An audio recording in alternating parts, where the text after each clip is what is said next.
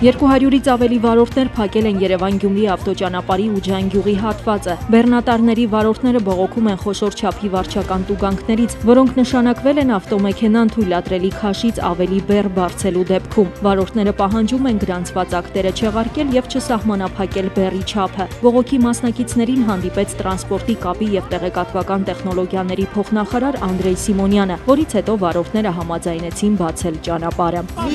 ես գնացել եմ գրուզը ապարակի տարել, ճանապարհին ինձ բռնել են ավտոմոբիլ։ Ամենաքիչն է, իմը 200.000 դրամ։ Ամենաքիչը մարկա 1.400.000 տուգանվել է։ Այսօր որ դուք 1.400.000 դրամ ունեք, այդ հարցի ոչ մեկ լուծում չի տալի։ Լուծումը այն է, պահանջում ենք մենք սաղս։ Հանենք շերտերը, ոնց աշխատել եք, այդպես աշխատել։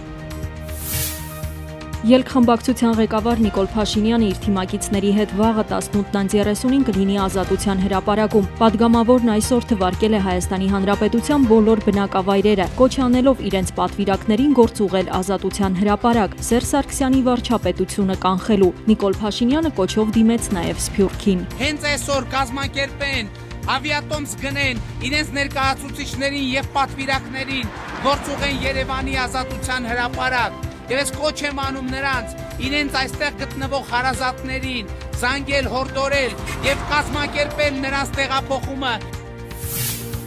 Ղարաբաղ կոմիտեի անդամ Աշոտ Մանուչարյանը հայտարարում է կա հայության մի հատված, որը խոր ընկալումներ ունի աշխարհում տեղի ունեցող երևույթների մասին եւ կարող է ելք առաջարկել։ Իրական դիմադրեն նրանք են, ով ասում են՝ վիճակը պիտի փոխվի շատ դեպքերում իրենց գիտելիքները, ունակությունները, հնարավորությունները չեն հերիքում, որովհետեւ իրենք ասեն դեպի ուր պետք է փոխվի բայց արդեն որ ասում են պետք է փոխվի այսպես ինչ պիտի լինի, դա նրանց դնում է այն նույն շարքում, որտեղ գտնում է, ասենք թե Տրամփը կամ Պուտինը կամ էլի ուրեմն այն էակները աշխարհի, որոնք համարում են, որ այսպեսի ինչ պիտի լինի աշխարհը, պետք է փոխվի, բայց Տրամփն էլ չգիտի, իսկ ինչպես պետք է փոխվի, ինչ պետք է դառնա, եւ Պուտինն էլ չգիտի։ Այդ էլ նրանց թերություններն են մեր ընդդիմադիրներ Նիկոլ Փաշինյանի եւ Զարա Խոստանջյանի հետ միասին։ Կառավարության դռնփակ նիստից հետո լրագրողները հետաքրքրվեցին տնտեսական զարգացման եւ ներդրումների նախարարի պաշտոնակատար Սուրեն Կարայանից, թե արդյոք նրանք ավելի անկաշկանդ էին։ Օրակարգը բավականաչափ ծանրաբեռնված է, 73 հարց ունեինք օրակարգում եւ բավականին բուրըն քննարկումներ տեղի ունեցավ։ Խնդիր չի կանում նրանում, որ ավելի ազատ ենք արտահայտում, մենք Սովորաբար միշտ էլ ազատ ենք արտահայտել եւ բացու թափանցիկ ենք, այդ մասում ուղղակի մի խնդիր չկա։ Freedom House միջազգային իրավապաշտպան կազմակերպությունը երեք իր հրապարակած զեկույցում նշել էր. Հայաստանը կանգնած է ավտորիտար դառնալու վտանգի առջև եւ որպես գլխավոր պատճառ նշվել էր Սերժ Սարգսյանի պաշտոնավարման երրորդ ժամկետը։ Արդարադատության նախարարի պաշտոնակատար Դավիթ Հարությունյանն ասում է. Freedom House-ի զեկույցը արմատապես տարբերվում է ընդունված մեթոդաբանությունից։ Եթե որևէ մեկը ուշադիր ուսումնասիրի այս զեկույցը, ապա կարծում եմ զարմանքով կհայտնաբերի իրար հակասող երբեմն դրույթներ։ Օրինակ, եթե Սերժ Սարգսյանը առաջադրվում է որպես վարչապետ, դա կտանի դեպի ավտորիտար ռեժիմ։ Եթե Սերժ Սարգսյանը չառաջադրվի վարչապետ, ապա դա կդառնա լրելային կառավարում գործադիր իշխանություն։ Այսինքն ձախ մի գնա, աչ մի գնա։ Ռազմահայրենասիրական դաստիարակությունը փաստաթղթերով հնարավոր չէ իրականացնել եւ կրթության գիտության նախարարությունը պետք է ներողություն խնդրի սովորողների ռազմահայրենասիրական դաստիարակության ռազմավարության ծրագրի համար։ Կրթության փորձագետ Անահիտ Բախշյանի պնդմամբ ծրագրում արկադրույթները վիրավորում են ապրիլյան քարորիայի մասնակիցներին։ Դնել այս նախագիծը, որտեղ այսպիսի արտահայտություններ գրված լինեն երիտասարդության հասեին, իրենք այս հաստատղթով պարզապես վիրավորել են այն տղաներին, այն զինվորների հիշադակը, ովքեր ապրիլի 2-ին Վերին Աշճյանի ինչ ասեմ, դաստիարակված իրենց կերպարը ցույց տվեցին։ Այսօր Ֆրանսիան վավերացրել է մարդու իրավունքների Եվրոպական կոնվենցիայի թիվ 16 արձանագրությունը։ Սա 10-ի հասցրեց վավերագրերի թիվը, ինչը բավարար է, որ արձանագրությունը 2018 թվականի օգոստոսի 1-ից ուժի մեջ մտնի այն երկրների համար, որոնք վավերացրել են այն։ Հայաստանը վավերացրել է արձանագրությունը 2017 թվականի հուլիսի 31-ին։ 16-րդ արձանագրության ուժի մեջ մտնելը կնպաստի մարդու իրավունքների Եվրոպական կոնվենցիայի եւ ազգային բարձրագույն դատարանների միջև երկխոսության ամրապնդմանը, ասել է մարդու իրավունքների Եվրոպական դատարանի նախագահ Գիտո Ռայմոնդին։ Ադրբեջանում անցկացված արտահերտ նախագահական ընտրություններում գործող նախագահ Իլհամ Ալիևը ստացել է քվեների 86%-ը եւ շարունակելու է ղեկավարել երկիրը։ Ալիևի կառավարման տարիների ընթացքում ռազմական սրացումների միշտ պետք է պատրաստ լինել։ Ադրբեջանի վերջին շրջանում արված հայտարարությունները դրա մասին են վկայում։ Այսօր լրագրողների հետ հանդիպմանն ասել է Ռազմին Ֆոկայքի վերլուծաբան Տարոն Հովանիսյանը։ Հիշենք 2004 թվականը Բուդապեշտի դեպքերը ցավալի դրանից հետո Իլհամ Ալիևի պահվածքը հիշենք տարբեր տարիների ընթացքում իր պահվածքը, այսինքն ինքը ի սկզբանե այդքան էլ այսպես ասած մեր հանդեպ բարեհաճ վերաբերմունք չեր ունեցել Ապրիլի 13-ից 15-ը Երևանի մի կամարզադահլիճում տեղի կունենա Քունգ-ֆուի Եվրոպայի թվով երրորդ առաջնությունը։ Դրան կմասնակցեն Հայաստանի, Ռուսաստանի, Ուկրաինայի, Իտալիայի, Ֆրանսիայի, Վրաստանի, Իրանի, ԱՄՆ-ի եւ այլ երկրների քունգ-ֆուիստները։ Առաջնության պատվավոր հյուրերից է Շաոլինյան մարտարվեստի վարպետ Մակի բարի կամքի դեսպան Ֆու Բիաոն։ Քունգ-ֆուն շատ հին մարտարվեստ է, հենց նրանից են սերել արևելյան մյուս մարտարվեստները։ Ուրախ եմ, որ Քունգ-ֆուի Եվրոպայի առաջնությունն անցկացվում է Հայաստանում քանի որ աշխարհի հնագույն երկրներից է եւ ունի հարուստ պատմություն, ինչպես մեր մարտարվեստը, ասաց նա։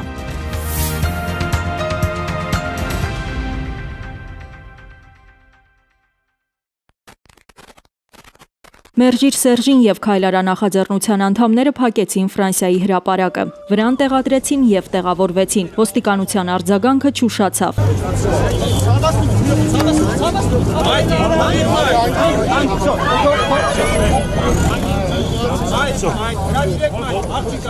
Ոստիկանները բացեցին Մաշտոցի պողոտան։ Սերժ Սարգսյանին վարչապետ տեսնել չցանկացողները դիմեցին անսպասելի գործողությունների, կատվածահար անելով երթևեկությունը։ Սա բողոքի ակցիա է ընդդեմ Սերժ Սարգսյանի կլանի եւ առհասարակ իր վարչապետության դեմ։ Ուզում ենք մենք որ ժողովուրդը տենա, որ մենք մեր քայլն ենք անում եւ մերժում եք Սերժ Սարգսյանին։ Ոստիկանները թույլ չտվեցին, որ ճանապարհը երկար փակ մնա, բայց երիտասարդները ժամանակ առ ժամանակ հայտնվում էին բանուկ փողոցում, վարորդներին կոչ անելով միանալ իրենց։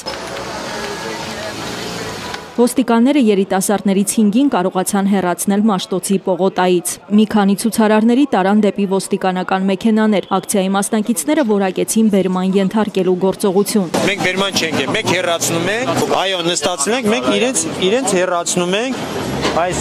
անօրինական գործողության վայրից։ Միջի այդ որ խոսեցի, ասաց որ իրենց այդ ամեն ինչ նորմալ է, ոստիկանները իրենց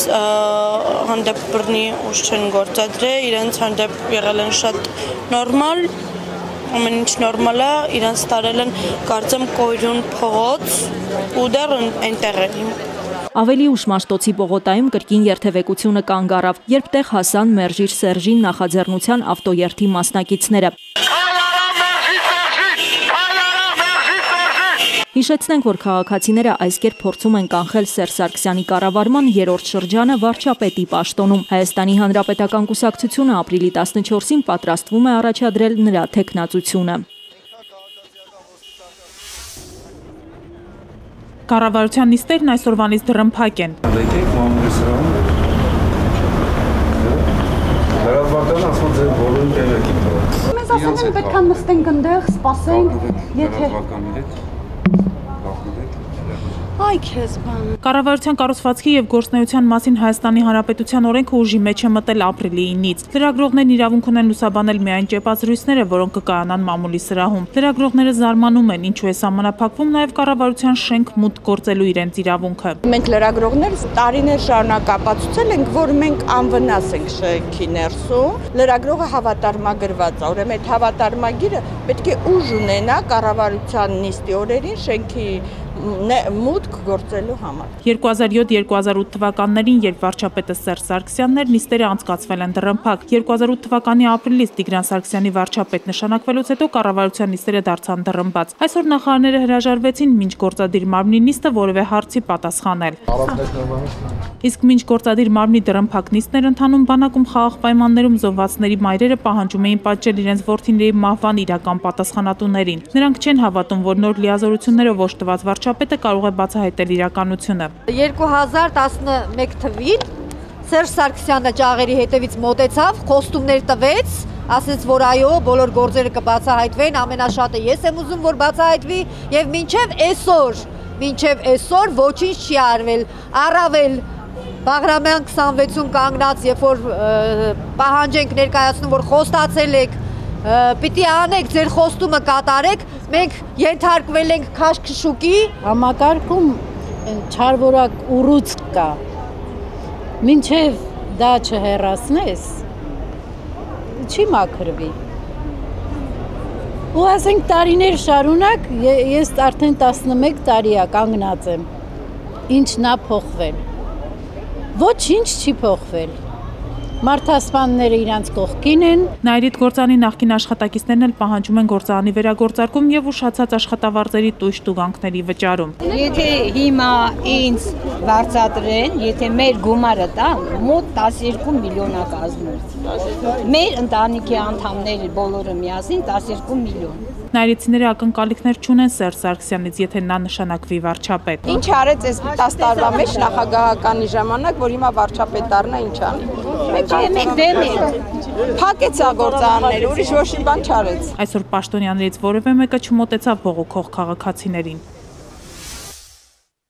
Ծառուկյան խմբակցությունը դեղերի մասին օրենքի փոփոխությունների նախագծին կողմ քվեարկեց պայմանով։ Բուժական հաստատություններին դեղերի ներկրման իրավունք կվերապահվի բացառապես այն դեղերի մասով, որոնք վերաբերվում են քրոնիկ եւ դիսպանսերային բուժման ծառայությունների իրականացմանը։ Հիվանդանոցում մատուցվող ծառայությունները տասնյակներ են եւ այդ ծառայությունները երբեք հնարավոր չի բաժանել դիսպենսերային կամ քրոնիկ հիվանդությունների տեսքի։ Այնպես որ մենք պետք է հստակ մոտենանք ըստ առողջության վայրի ամբուլատորիա, պոլիկլինիկա, հիվանդանոց։ Միքայել Մելքումյանը պնդեց իր տեսակետը։ Մենք պայմանավորվածություն ունենք պարոն Բաբլոյանի հետ, առայն որ միայն սահմանափակ անվանացանքով դեղամիջոցներին է վերաբերվում։ Անվանացանքը կնշվի Ուրեմն երկրորդ ընթերցմանը մենք կողմ չենք քվեարկի, եթե այդ հարցը չլուծվի։ Բերեք բանավեճի չվերացենք, հիմա առաջին ընթերցումն է, բարով խերով կգա երկրորդ ընթերցման ժամանակը կքվեարկենք երկրորդ ընթերցման։ Ելք խմբակցությունը եւս կողմ էր այս նախագծին իր հիմնավորումներով։ Ենթադրվում է, կանխատեսվում է, որ դեղերի գինը ինքնարժեքը ընկնելու է եւ ընդհանրապես առողջապահության ինքնարժեքը ընկնելու է։ Արդյունքում դեղերի մասին օրենքի փոփոխությունները ընդունվեցին միաձայն 92 կողմ։ Նախագծի հեղինակների վստահեցմամբ նպատակն է, որ հիվանդանոցները եւս իրավունք ունենան դեղներ կրել իրենց կարիքների համար, որն էլ կազդի գների իջեցման վրա։ Ազգային ժողովը ընդունեց նաեւ Հայաստանի եւ վերակառուցման եւ զարգացման միջազգային բանկի միջև ռոռոկման համակարգերի բարելավման ծրագրի համար լրացուցիչ ֆինանսավորում վարկային համաձայնագիրը։ Դեմ էին ելք եւ Ծառուկյան խմբակցությունները։ Սրանով մենք ուշադրություն ենք հրավիրում բոլոր հանձնաժողովներին, որպիսի նմանատիպ պայմանագրերի հետ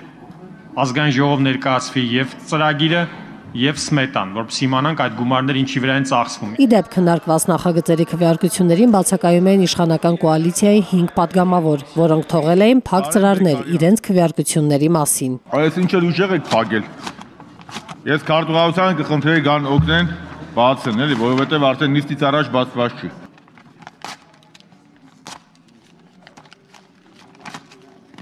Տիկին Նաղդայանը շատ ուժեղ էր։ Հակած Ազգային ժողովի նիստը տևեց 15 րոպե։ Նիստի վերջում Էդուարդ Շարմազանովը հիշեցրեց, որ ապրիլի 17-ին կեսօրին Ազգային ժողովը սկսելու է քննարկել Հայաստանի Հանրապետության վարչապետի ընտրության հարցը, եւ բոլոր падգամավորները պետք է ներկայանան խորհրդարան։ Չկալովը դատարկվող գյուղ է։ Գյուղի առանձնատների մեծ մասում բնակիչ չկա, երիտասարդները քաղաք են տեղափոխվում, գյուղը թողնելով ծերերին։ Հայս էլա գնացել վայեսել, որ ապրանք պահեմ ու շատ ապրանք ապահում մնամա։ Սովետի ժամանակ այնքան լավն էր, լիքն էին, համի սխ տները դատարկվել է։ Գյուղում մնացած հատուկեն երիտասարդները չեն աշխատում։ Գյուղի 60 տնտեսություններից 30-ը հիմա բնակիչ չունի։ Մանկապարտեզի բացակայությունն էլ իր հերթին նպաստել է, որ գյուղից հեռանան նաև նորաստեղծ ընտանիքները։ Մեր ջահելները չեն աշխատում, չեն ամուսնանում։ 14-15 տղա ունենք, ճիշտ աշխատում են, բայց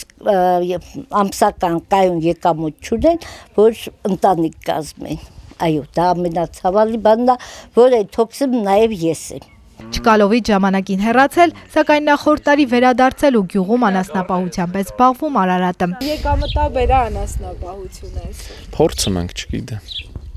Փորձենք տենանք։ Նոր ենք եկել, մի տարի է։ Ասում է անասնապահության զարգացմանը խոչընդոտում է գյուղ տեխնիկայի մաշվածությունը։ Ինչով Ինչով առնեն մարդիկ սաղ են կով են պահում իրանց երեխեքին մեկը իրանց հին տեխնիկան։ Չկալովի միակ խանութը գրեթե փակվելու եզրին է։ Նպաստառու եւ թոշակառու հաճախորդները միշտ չէ որ կարողանում են վճարել ապարիկով ձեռք բերված ապրանքների համար, իսկ դա Տիկին Ռուզաննայի բիզնեսի վրա բացասական է ազդում։ Բնակչության թվի նվազումն էլ պակաս ազդեցություն չի ունենում։ Ասում է ամեն տարի սեպտեմբերին գյուղը 1-2 ընտանիքով դատարկվում է։ Երեխաները հենց դպրոցը հասակ են դառնում, արդեն լքում են գյուղը, որովհետև այստեղ պահող բան չկա։ Աշխատանք չկա, որ այդ երիտասարդ ընտանիքի ամուսինը կամ կինն աշխատի, ստիպված գնում են քաղաք։ Մինչև 7 տարեկան երեխաներին ամբուլատոր եւ հիվանդանոցային բուժօգնությունը պետությունը տրամադրում է անվճար, սակայն ոչ բոլորը գիտեն այդ մասին։ Տեղերը վճարով են բնականաբար։ Տեղերը չեմ փորձել, չգիտեմ։ Տեղերը չէ, չեմ կարծում։ Գիտեմ դեպքեր, որ ուղղորդում են, ասում են տվյալ տեղատրից վերցրեք տեղերը։ Պետք է տրամադրվել միջև 3 տարեկան երեխաների բուժօգնության դեպքում դեղորայքը նույնպես անվճար։ Հայաստանի Հանրապետությունում անվճար են ոչ միայն երեխաներին, այլ նաև հղիկանանց տրամադրվող բուժծառայությունները, անգամ կեսարյան հատման ճանապարհով ծննդալուծումը։ Ցանկացած կին իր մարզում մարզի բոլոր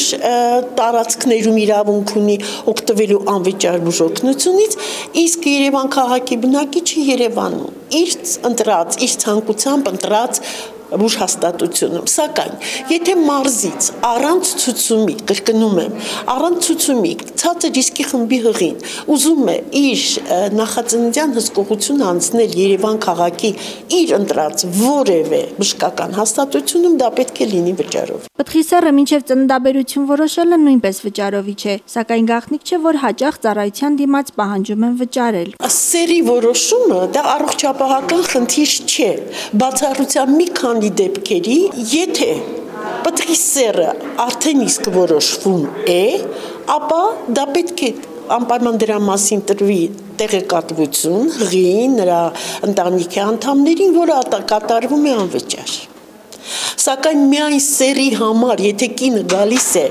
իր 3 էխոսկոպիաներից դուրս եւ ուզում է սեր որոշել, սա ուրիշ խնդիր է։ Սա առանց ցուցումի ինքը լրացուցիչ հետազոտություն է ուզում իրականացնել։ Հղիկանայք հաճախ նախընտրում են ծննդաբերել ծանոթ բժշկի օգնությամբ, որի դիմաց որոշակի գումար են վճարում նրան։ Մեր օրենսդրությամբ բժշկի ընտրությունը նույնպես անվճար է մենք չունենք գնացուցակ եւ մենք չունենք որևէ գնացուցակ այդ առումով։ Ծննդօգնության պետական հավաստագրով պաշտպանված է ծննդօգնության անվճար լինելու իրավունքը, իսկ ֆինանսական ծախսերը հոգում է պետությունը։ Հավաստագրից բոնուս ստանում են ծննդաբերությանը մասնակից բոլոր բուժ աշխատողները, սկսած ընդունարանի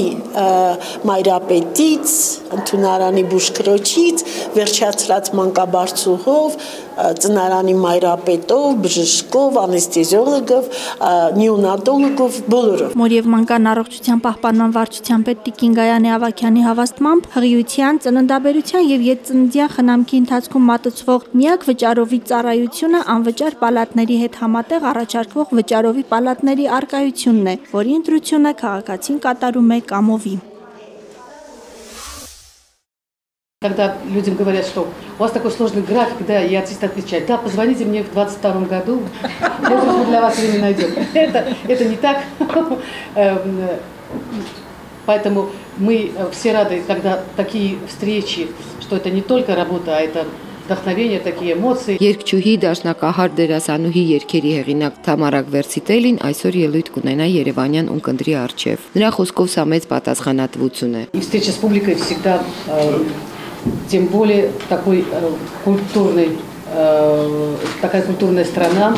древняя и такой культурный, музыкальный э, город Ереван, встреча с которым всегда и вызывает колоссальные эмоции, и вдохновение. Նա հիշեց այն հանդիպումները, որ ճակատագրական դարձան իր ստեղծագործական կյանքում։ Հիշեց ինչպես 1970-ականներին Ռաֆայել Ղազարյանը իրեն ընդունեց Մզիուրի մանկական անսամբլ որպես մեներկչուհի։ Միշել Լեգրանի հետ հանդիպումը, որի հրավերով նա մեկնեց Փարիզ եւ Օլիմպիայի համերգասրահում տվեց իր առաջին մենահամերգը, երկչուհին ճակատագրի մեծ նվեր է համարում։ Համերգից հետո Լեգրանը բեմից դիմեց բազմահազարանոց դահլիճին ու ասաց. «Փարիզ, հիշիր այս անունը»։ Ես երբևէ չեմ մոռանա, թե փորձերի ժամանակ ինչպես էինք Լեգրանի հետ միասին երկու ռոյալների վրա նրա հեղինակած երաժշտությունն ու բախ նվագում, ասում է երկչուհին։ Он очень э, был ко мне э, всегда э, и добр, и он является неким для меня поводырем, потому что если не такие люди в мире, не такие музыканты, э, не было бы целых направлений. Թամարակ Վերցետելին Արնո Բաբաջանյանի երգերի լավագույն կատարողներից է համարվում։ Երջանիկ եմ ասում է երգչուհին, որ շփվել եմ տեզերական տաղանդի տեր այս մարդու հետ։ Պատկերացնում եք 18 տարեկան աղջնակ էի, երբ առաջին անգամ տեսա նրան փորձի ժամանակ ու լսեցի նոկտուրնի նրա հիասքանչ կատարումը։ Это время, это то, что нам принесло, и я не могу не вспомнить эту песню. Это не «Верни мне музыку», а эта песня «А между мною и тобой века Мгновения и года, сны и облака. Я им сейчас лететь к тебе велю, Ведь я тебя еще сильней люблю. Да-да-да-да-да. Ну, остальное на конце. Դերասանի համար թերևս ամենակարևորը անհատականություն լինելն է, իսկ սա մարդուն ի վերուստ է տրվում, ասում է ազնվական արմատներ ու արխայական անուն ունեցող Թամարա Գվերցիտելին։